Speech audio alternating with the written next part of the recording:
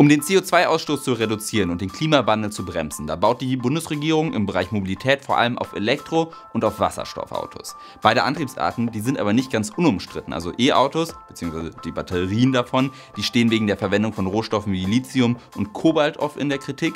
Und bei der Wasserstoffproduktion werden zurzeit noch große Mengen CO2 freigesetzt und der Wirkungsgrad der ist auch ein häufiger Kritikpunkt. Es gibt aber noch eine Alternative, die nicht ganz neu ist, aber irgendwie in Vergessenheit geraten ist, der Methanolantrieb. Viele von euch haben sich das Thema gewünscht, deswegen gehe ich dem Ganzen heute auf die Spur. Also, wo liegen die Unterschiede zu Strom und Wasserstoff? Wie funktioniert der Methanolantrieb und warum hat er sich bis jetzt nicht durchgesetzt? Das klären wir alles heute und damit willkommen bei Breaking Lab. Jakob hier. Klickt jetzt schon mal auf Abonnieren, damit ihr kein Science-Video mehr verpasst. Los geht's!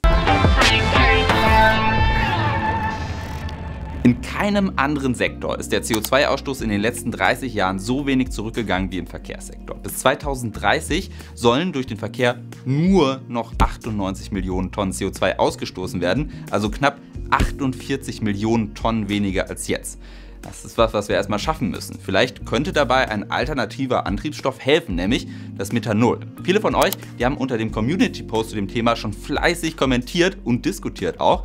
Das finde ich richtig cool und an der Stelle mal ganz kurz vielen Dank für die ganzen Beteiligungen da. Schauen wir uns das Ganze mal an. Ein Auto mit Methanolantrieb wird genau wie so ein Wasserstoffauto elektrisch angetrieben. Es hat also einen Elektromotor und eine kleine Batterie und eine Brennstoffzelle. Um den Elektromotor zum Laufen zu bringen, wird ein Methanol-Wassergemisch getankt, wie bei einem ganz normalen Tank Tankvorgang mit Benzin oder Diesel auch. Die Methanol-Brennstoffzelle, die sorgt dann im Auto dafür, dass der Elektromotor mit Strom versorgt wird. Im Moment gibt es noch kein Methanol-Auto auf dem Markt, aber der deutsche Ingenieur Roland Gumpert hat vor kurzem so seinen Prototypen, also Natalie heißt das Ding, vorgestellt. Ab 2022 soll der bzw. die, also Natalie, eben dann in einer kleinen Serie produziert werden. Der kleine Sportwagen, der kommt mit dem Strom aus der Brennstoffzelle auf 130 km/h. Mit zusätzlichem Strom aus der Batterie soll Natalie sogar eine Höchstgeschwindigkeit von einfach mal 300 km/h schaffen. Wenn die Geschwindigkeit aber unter 130 km/h sinkt, wird die Batterie mit dem Strom aus der Brennstoffzelle wieder aufgeladen. Solange der Methanoltank also voll ist, ist eine leere Batterie kein Problem mehr und angeblich hat der Wagen so eine Reichweite von 800 Kilometern. Und hier kann ich vielleicht schon mal ein bisschen teasern. Ein treuer Zuschauer von Breaking Lab, der ist bei Herrn Gumpert im Team und hat uns connected. Und wenn alles klappt, werde ich in ein paar Wochen nach Ingolstadt fahren und ihn dort persönlich treffen und halt auch das Auto ausprobieren können. Also wenn ihr Fragen habt, dann schreibt die gerne schon mal in die Kommentare, dann nehme ich die mit dahin. Bevor wir gleich noch auf die Vor- und Nachteile vom Methanolantrieb eingehen, schauen wir mal ganz kurz, wie eine Methanol-Brennstoffzelle eigentlich genau funktioniert.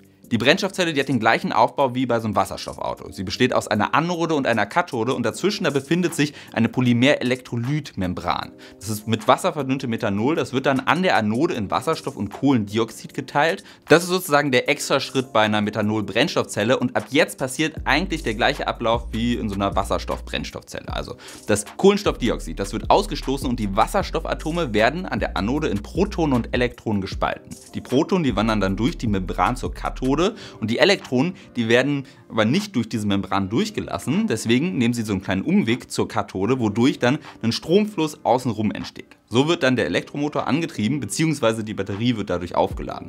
Sobald die Elektronen an der Kathode angekommen sind, verbinden sich jeweils vier Elektronen mit einem Sauerstoffmolekül und daraus entstehen dann negativ geladene Sauerstoffionen. Die reagieren dann mit den Protonen, die vorher durch diese Membran gewandert sind und am Ende entsteht einfach nur Wasser. Zwei Sachen müssen an dieser Stelle aber nochmal ganz kurz geklärt werden, denn wer jetzt gerade genau aufgepasst hat, der könnte so ein bisschen stutzig geworden sein bei der einen Aussage. Bei der Teilung von Methanol, da entsteht Wasserstoff und halt Kohlendioxid. Und dieses Kohlendioxid oder halt auch CO2 genannt, das wird dabei einfach ausgestoßen. Ist der Methanolantrieb dann überhaupt emissionsfrei, könnte man sich fragen. Und wie wird Methanol überhaupt hergestellt? Also beide Fragen hängen tatsächlich zusammen und fangen einfach mal mit der zweiten an. Methanol kann genau wie Wasserstoff schwarz oder grün hergestellt werden, also aus fossilen Brennstoffen und eben aus erneuerbaren Energien. Erstmal ist interessant, dass Methanol aus sehr vielen unterschiedlichen Stoffen hergestellt werden kann. Als Rohstoff kommen zum Beispiel Erdgas, Benzin, aber auch Rückstandsöle der Erdölaufbereitung, Kohle, Kohlenstoffdioxid und Wasserstoff in Frage. Außerdem hat die Herstellung von Methanol schon eine sehr lange Tradition. Früher wurde Methanol zum Beispiel aus Laubholz gewonnen, indem man das dann unter Ausschluss von Sauerstoff erhitzt hat. Dieser Vorgang, der nennt sich Pyrolyse. Das habt ihr wahrscheinlich schon in einem anderen Video von mir gehört. Da spreche ich immer mal wieder drüber. Heutzutage wird Methanol aber größtenteils aus Synthesegasen hergestellt. Also aus wasserstoffhaltigen Gasgemischen, die für eine Synthesereaktion zum Einsatz kommen. Bei Methanol ist das meist Erdgas, das mit Dampf oder Autothermreformierung gewonnen wird. Das bedeutet, dass es zu einer Reaktion bei sehr hohen Temperaturen und bei verschiedenen Drücken kommt.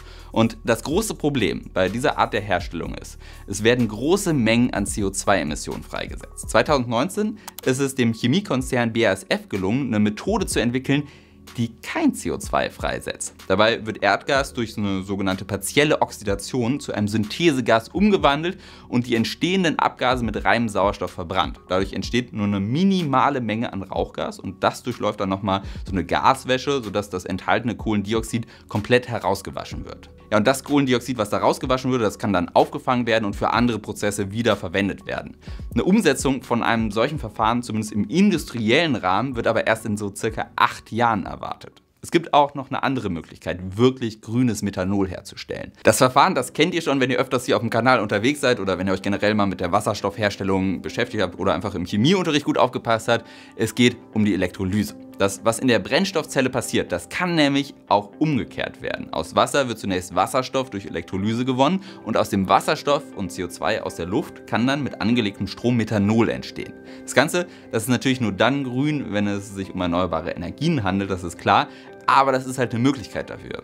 Ein Problem ist hier allerdings wiederum, dass die Systeme der Industrie noch gar nicht darauf umgestellt sind. Im Dezember 2019 hat das Fraunhofer Institut für Solare Energiesysteme so eine Mini-Testanlage in Betrieb genommen und hier will man erstmal testen, wie man grünes Methanol im großen Stil durch Elektrolyse herstellen kann und außerdem untersucht man, ob es zu Schwankungen in der Qualität von dieser Methanolproduktion kommt, wenn mal weniger Solarenergie zur Verfügung steht. Und vielleicht da nochmal ganz kurz, diese Testanlage, die wurde jetzt nicht ausschließlich für die Methanolnutzung als Kraftstoff gebaut. Methanol, das wird nämlich noch in vielen anderen Bereichen genutzt, zum Beispiel in der Herstellung von Plexiglas, Farbstoffen, Medikamenten oder halt auch, und das finde ich ganz spannend, zum Recyceln von Kunststoffen.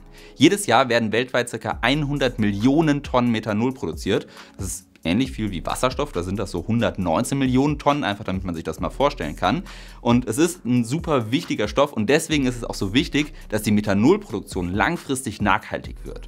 Ob Methanol jetzt als Kraftstoff genutzt wird oder nicht, das spielt bei dem Punkt erstmal keine Rolle, weil das halt trotzdem das gleiche Produkt ist. Mit der Herstellung von Methanol beantwortet sich somit auch die Frage, ob ein Auto mit Methanolantrieb überhaupt emissionsfrei ist. Also wenn das Methanol durch Elektrolyse gewonnen wurde, dann würde dafür ja eine gewisse Menge an Kohlendioxid aufgenommen und zu Methanol verarbeitet werden. Und der Kohlenstoff, der wird dann sozusagen aus der Atmosphäre genommen und dementsprechend ist das, was das Auto dann wieder abgibt, das gleiche und damit ist das Auto im Endeffekt Endeffekt emissionsfrei.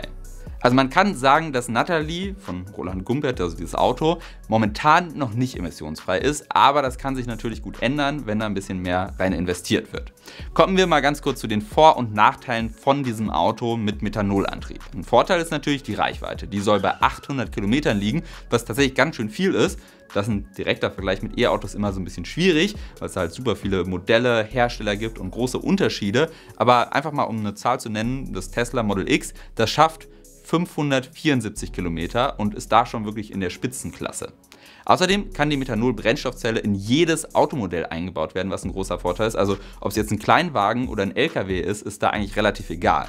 Neben der Reichweite ist natürlich auch die Lade- bzw. diese Tankzeit ein großer Vorteil gegenüber E-Autos, denn ähnlich wie bei so einem Verbrenner oder halt auch bei einem Wasserstoffauto geht das Tanken super schnell. Also beim Modell Natalie, da dauert so ein Tankvorgang drei Minuten. Das ist schon ziemlich flott im Vergleich zum Laden vor zum Auto. Das Ganze hat aber auch noch einen Vorteil im Vergleich zu Wasserstoffautos. Und zwar liegt das an der Infrastruktur, also insbesondere den Tankstellen. Denn ähnlich wie Benzin oder Diesel ist Methanol bei Temperaturen von minus 97 bis plus 64 Grad Celsius flüssig. Es könnte also an den gleichen Tankstellen getankt werden und bei der Handhabung, Speicherung und bei dem Transport könnte man im Grunde auf bewährte Technik zurückgreifen. Man müsste also nicht wie beim gasförmigen Wasserstoff komplett umrüsten. Und nur mal zum Vergleich, die Kosten für so eine Wasserstofftankstelle, die belaufen sich zurzeit auf ca. eine Million Euro Um 14.000 Tankstellen mit Methanolzapfsäulen auszustatten, würden dagegen nur 30 Millionen Euro anfallen. Das macht umgerechnet gerade mal knapp über 2000 Euro pro Tankstelle und das ist ein ziemlicher Schnapper. Und diesen entscheidenden Vorteil hat der Chemie-Nobelpreisträger George Olah schon vor 15 Jahren erkannt. In seinem Buch hat er sich 2006 ganz klar für eine Umstellung auf Methanol und gegen Wasserstoff ausgesprochen. Dabei sind vor allem zwei Argumente für ihn ausschlaggebend. Zum einen, dass wir eben keine Umrüstung der Infrastruktur vornehmen müssten und zum anderen, dass wir CO2 aus der Atmosphäre filtern könnten, um an grünes Methanol zu gelangen. Argumente, die definitiv nicht so leicht von der Hand zu weisen sind. Aber, ihr kennt das ja aus meinen Videos, Jetzt kommen wir zum großen Aber und schauen uns mal die Kritikpunkte an. Denn natürlich gibt es auch einige Nachteile beim Methanol und einer davon ist, Methanol ist hochgiftig. 5 bis 10 Milliliter reichen aus, um eine schwere Vergiftung zu verursachen. Ab 100 Milliliter kann man daran sogar sterben. Auch das Einatmen und die Aufnahme über die Haut sind schon toxisch und können Übelkeit und Schwindel auslösen. Es könnte beim Tanken auf jeden Fall zu einem Problem werden. Jetzt kommen wir mal zu den Wirkungsgraden. Da haben ja viele im Community-Post schon arg drüber diskutiert und es war ein sehr wichtiges Thema. Und wenn ihr den Post noch nicht gesehen habt, dann liegt das bestimmt daran, dass ihr den Kanal noch nicht abonniert habt. Also klickt jetzt gerne mal auf Abonnieren und auf die Glocke und vergesst auch nicht bei Instagram vorbeizuschauen.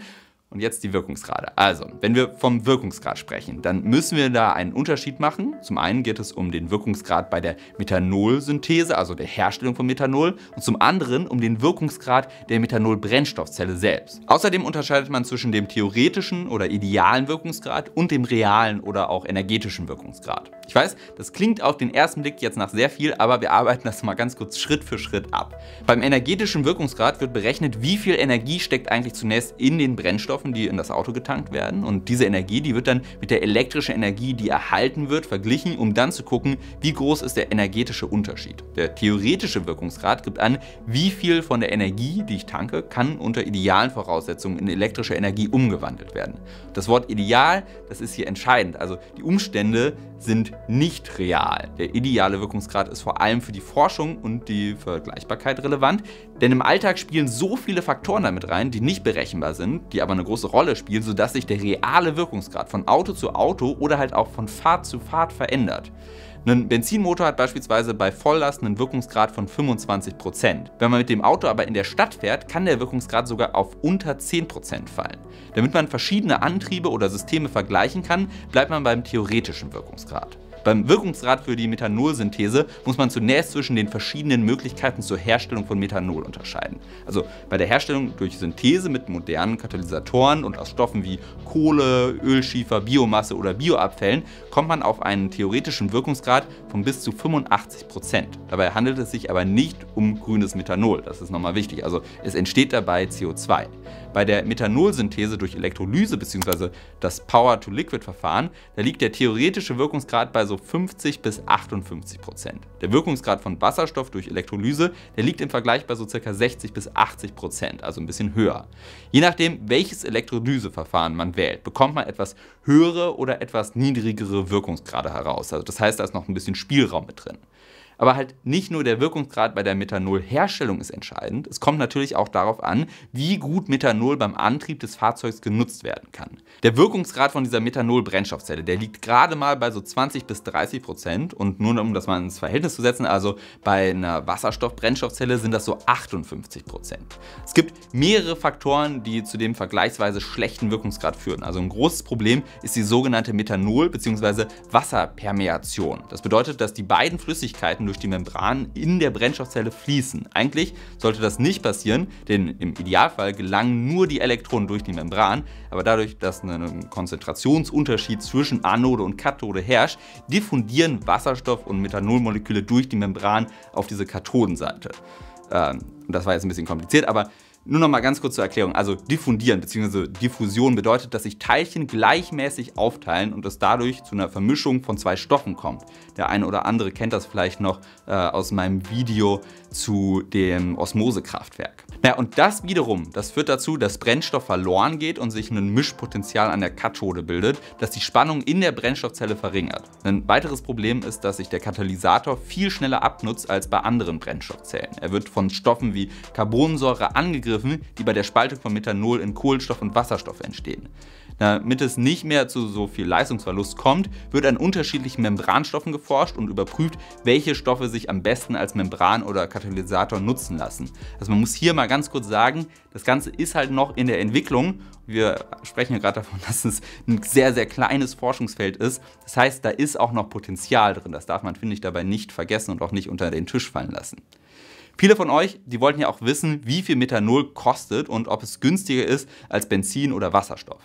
Die Frage ist leider gar nicht so ganz leicht zu beantworten, denn Methanol wird zwar in großen Mengen produziert, aber ist für den alltäglichen Gebrauch als Privatperson einfach noch nicht verfügbar. Wenn man Methanol für gewerbliche Zwecke kaufen will, kostet der Liter so zwischen 1 bis 3 Euro. Das hängt natürlich etwas davon ab, wie viel man kaufen möchte Dabei handelt es sich aber um Methanol aus fossilen Brennstoffen. Der Vergleich mit E-Autos oder Wasserstoffautos ist deswegen natürlich ein bisschen schwierig und es fehlen viele Informationen, aber ich hoffe zumindest, dass ich das klären kann, wenn ich dann vor Ort bin und äh, wir das Ganze vielleicht mal vor Ort einfach rechnen können und schauen können, was es denn so circa kosten würde, auch wenn das natürlich ein Stück weit Spekulation ist. Es gibt im Vergleich mit E- und Wasserstoffautos aber auch einige Vorteile, die ich hier auch nochmal erwähnen will. Also ihr seht schon, dieses Thema, das ist einfach extrem komplex und ich versuche das so breit wie möglich zu bearbeiten und ich hoffe einfach mal, dass viele von euch noch dran sind. Also, berechtigterweise haben viele von euch gefragt, warum die Regierung die Forschung an Methanolantrieben und auch deren Verbreitung nicht mehr unterstützt. Und diese Frage die kann ich natürlich nicht direkt beantworten. Es kann aber gut sein, dass der geringe Wirkungsgrad mehr ins Gewicht gefallen ist als die Vorteile der größeren Reichweite oder die geringen Kosten für die Umstellung der Infrastruktur.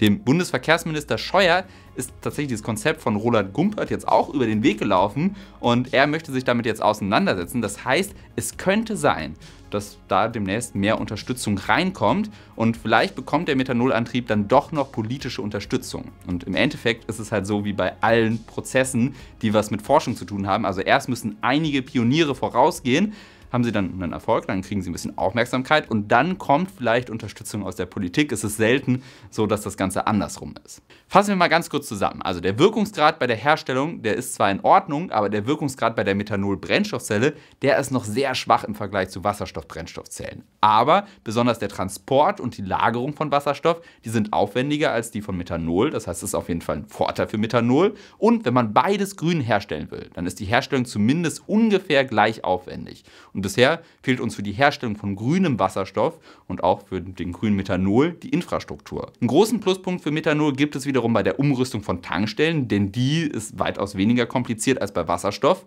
und auch bei der Reichweite schneidet zumindest der Wagen von Roland Gumpert besser ab als E- oder Wasserstoffautos.